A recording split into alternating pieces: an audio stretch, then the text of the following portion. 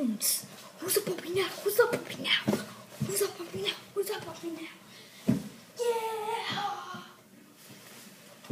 Who's a puppy now? Who's a puppy now? Well, anyways, I am very sorry.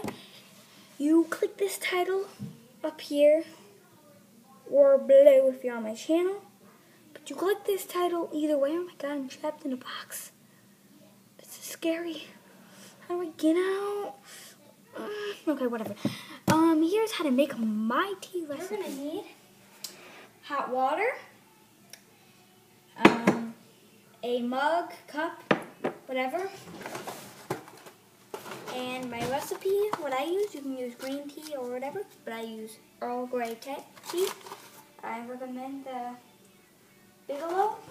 This is what I use a lot. Um, I use sugar.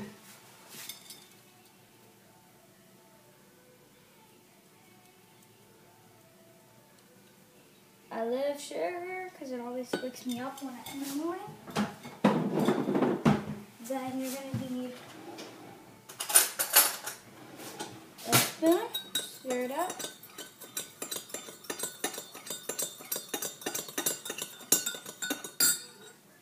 Alright, let's look at that so far. There's what it looks like right now.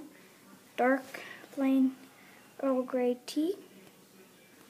Now, let's get the honey. Ready? Ready, set, so, this is the tea. I do not have honey right now, but usually I would put some honey in it, stir it up some more, take a quick slurp.